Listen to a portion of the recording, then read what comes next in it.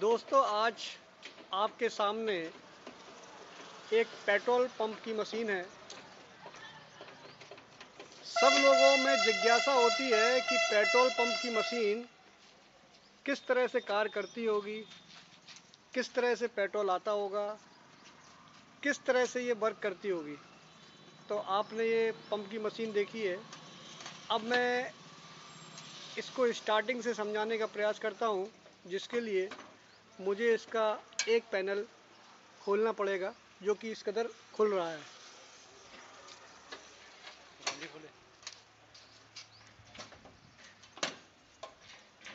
Petrol pump की machine में दो हिस्से होते हैं एक लोअर पार्ट लोअर कवर कह सकते हैं और एक अपर पार्ट।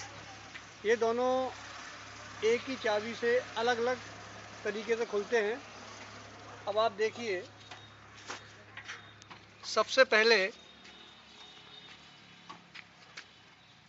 टैंक जो पेट्रोल पंप में लगा रहता है, जो कि पूरा लोहे का बना होता है और पेट्रोल पंप के बाउंड्री के अंदर उसको गाड़ के रखा रहता है, वहाँ से पेट्रोल या डीजल की टैंकों की पाइपलाइनें पेट्रोल आइलैंड या डीजल आइलैंड तक अंडरग्राउंड होके आती हैं। देखिए, जो मैं दिखा रहा हूँ, ये टैंक से लाइन आई हुई है, एक लाइन और एक दूसरी लाइन। इसमें दो लाइनें जुड़ी हुई हैं, जो कि अंडरग्राउंड टैंक, जो पेट्रोल पंप पर ज़मीन में गड़ा हुआ है, उससे आ रही हैं। इन लाइनों में ये आप देख रहे हैं, ये फिक्सिबल पाइप के द्वारा मशीन के फ़िल्टर से जुड़ी हुई है। फिक्सिबल पाइप मशीन में क्यों लगाया जाता है? सपोज़ कोई मशीन तो आपने अभी तक समझा, ये फिक्सिबल पाइप है। फिक्सिबल पाइप से तेल इस फ़िल्टर में आता है। इस फ़िल्टर इलेक्ट्रॉनिक्स कार्ड ख़राब होने की दशा में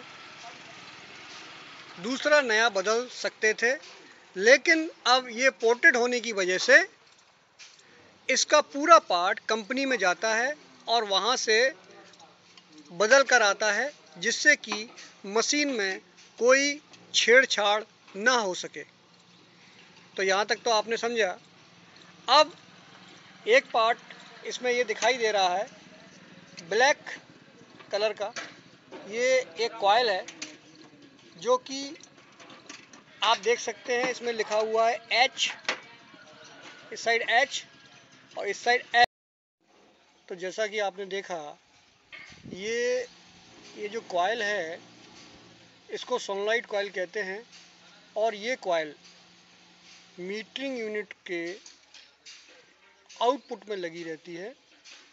जो आउटपुट हमारे इस नोजल में कनेक्ट होता है। ये कॉयल क्यों लगाई गई है?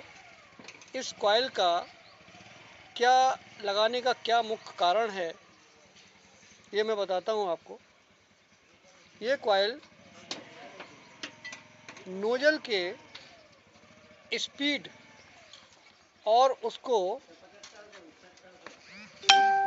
तेल की मात्रा को सपोज़ हमने सौ रुपये का तेल फ़ीड किया तो जब तक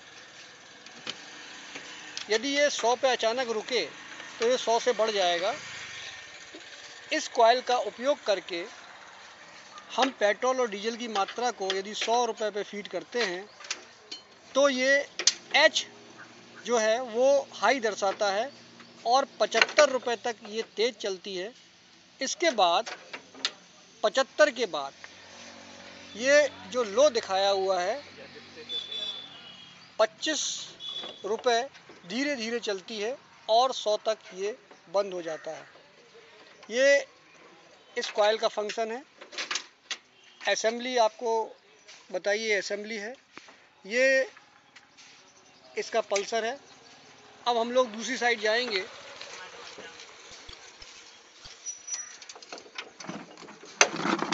सबसे नीचे देख रहे हैं, ये मोटर लगी हुई है। मोटर एक बेल्ट के द्वारा सक्शन के पुली में कनेक्टेड है। जैसे ही हम लोग ये वाला नोजल उठाते हैं, ये मोटर स्टार्ट हो जाती है। सक्शन पेट्रोल या डीजल से भर जाता है और मीटरिंग यूनिट भर जाती है। जैसे ही हम लोग इसका लीवर जो आप देख रहे हैं, इसका लीवर दबाते हैं तो पेट्रोल और डीजल इस पाइप के थ्रू निकलने लगता है और जो कि रीडिंग को ऊपर यहाँ पर प्रदर्शित करता है। जिस तरह से आप डिस्प्ले देख रहे हैं, पहले वाले में रुपीज़ आता है, दूसरे वाले में लीटर आता है, तीसरे वाले में रुपीज़ और लीटर आता है, चौथे वाले में डेंसिटी जो भी डीजल या पेट्रोल की होती है, वो यहाँ पर शो होती है।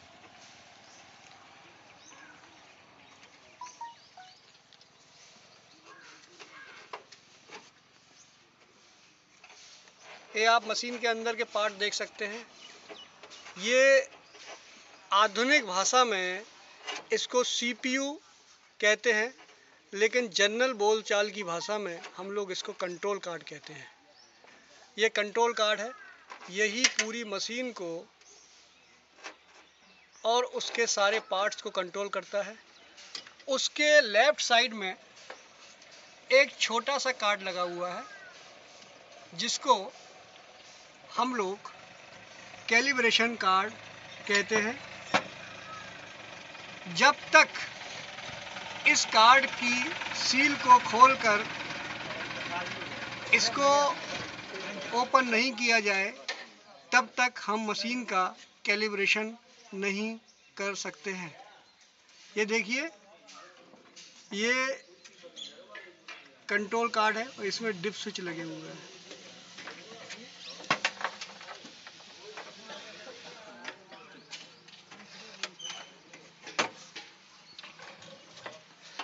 इसके अंदर जो है उधर उधर वहाँ से। एक प्रिंटर दिया हुआ है जो प्रिंटर डीजल और पेट्रोल निकलने के बाद आपको उसकी रसीद पेट्रोल और डीजल के रूप में देता है।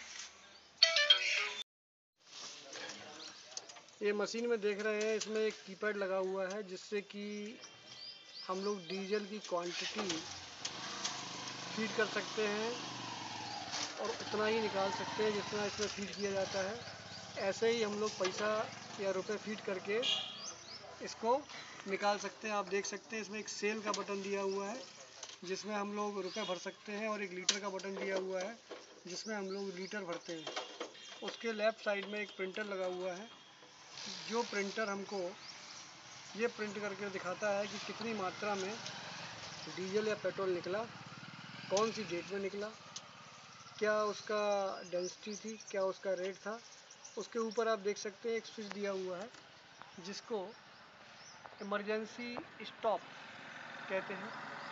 किसी भी कंडीशन में यदि मशीन में कुछ दिक्कत आती है तो मशीन के मशीन पर खड़े रहकर ही हम इस स्विच को प्रेस करेंगे तो ये बंद हो जाएगा।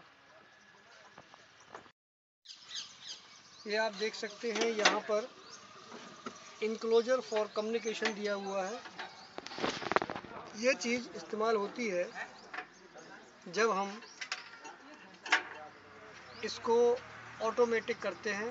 ऑटोमेटिक का मतलब मशीन की जो भी रीडिंग्स हैं, वो सेल्स रूम बिल्डिंग के अंदर कंप्यूटर में हम लोग देख सकते हैं।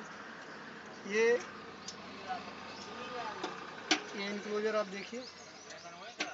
दूसरा इनक्लोजर एक और दिया हुआ है, जो पावर का इनक्लोजर है, जिसमें हम लोग मशीन की मोटर की पावर की केबल और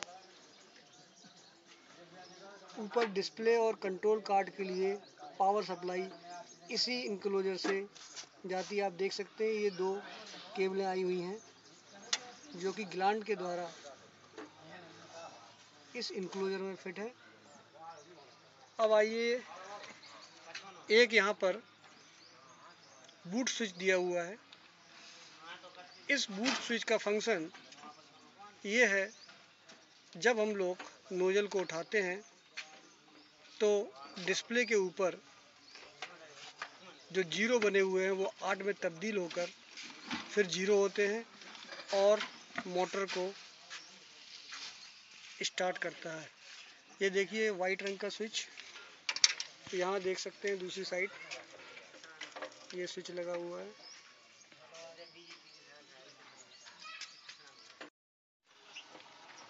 ये मशीन में सेफ्टी के लिए डबल पोल की एमसीबी लगी हुई है। ये एक फ़िल्टर लगा हुआ है, जो कि पावर सप्लाई को प्योर कर कर आउटपुट में देता है। ये ऊपर देख सकते हैं, ये पावर सप्लाई कार्ड है, जिसके द्वारा पावर अलग अलग तरीके से अलग अलग पार्ट्स में जाती है। ये आप देख सकते हैं यहाँ पर नीचे 12 वोल्ट बैटरी की सप्लाई, यहाँ पर साढ़े सात वोल्ट और अलग अलग सप्लाई दी गई हैं। इसको बोलते हैं S M P S card इसका मतलब है switch mode power supply right side में रिले कार्ड दिए गए हैं, जो आप देख सकते हैं, ये दो रिले कार्ड हैं। चूँकि ये मशीन डबल नोजल की है, इसीलिए इसमें दो रिले कार्ड दिए गए हैं और रिले कार्ड के अंदर ही हाई फ्लो और लो फ्लो का सिस्टम दिया हुआ है। हाई फ्लो और लो फ्लो जो कि यहाँ से डीजल और पेट्रोल की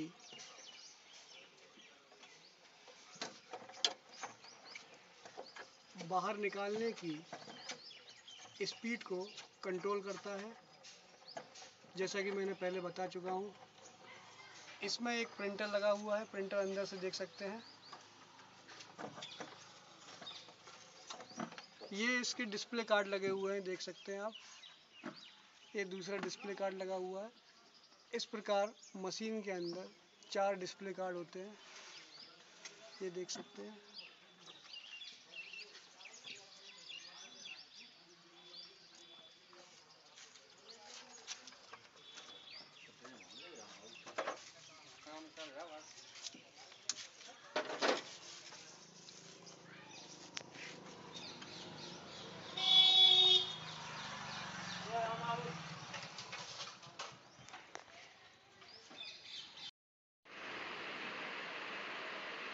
दोस्तों, आपने देखा, मैंने पेट्रोल पंप की मशीन के बारे में आपको शुरू से लेकर आखिरी तक उसके सारे पुर्जों के बारे में बताया। इन पुर्जों का क्या काम है, वो भी मैंने आपको बताया।